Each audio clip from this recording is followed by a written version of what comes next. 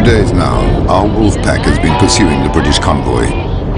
Today, Commandant Reimers will try to divert the attention of a destroyer to himself. Then it's our turn. There. Reimers has started the diversion maneuver. Look sharp, men. Tube three, go.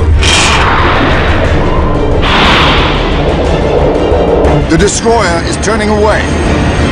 The freighters are at our mercy.